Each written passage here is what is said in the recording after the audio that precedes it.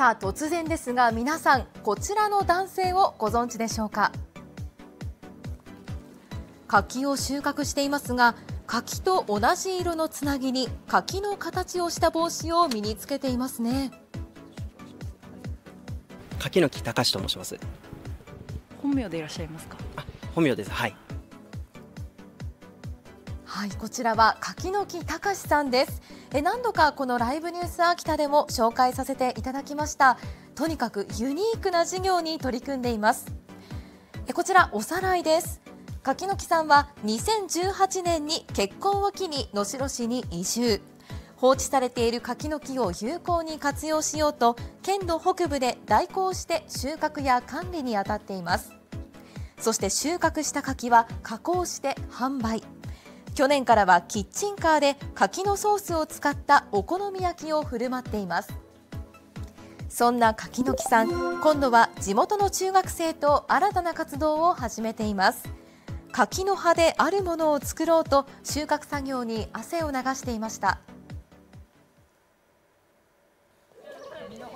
柿の木さんと活動を共にする能代市の二つ井中学校の生徒が柿の木の葉っぱを黙々と集めています。一体何を作るのでしょうか？今日は中学生と一緒に柿の葉を収穫して柿の葉茶を作るという取り組みです。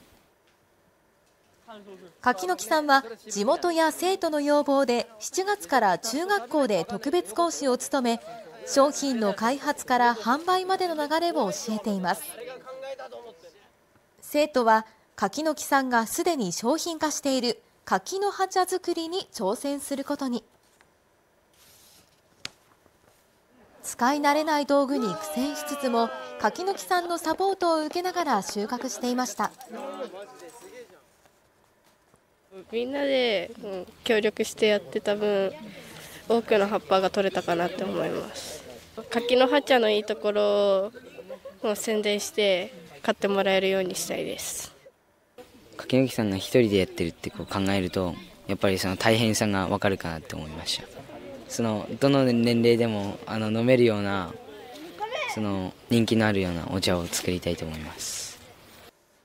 ありふれたものそこのある柿の葉が商品になってこう皆さん購入してくださるっていうところをあのみんなには価値があるものというふうに気づいていただきたいです。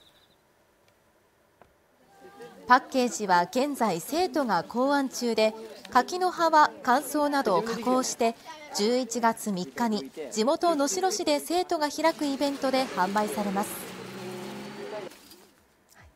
柿の木さんはこの夏もろみ製造免許を取得し現在柿のお酢を開発しているということです。将来的には柿に加えて廃棄される果物などに範囲を広げてフルーツ酢の製造をしていきたいと話していました。今後の活動からも目が離せません。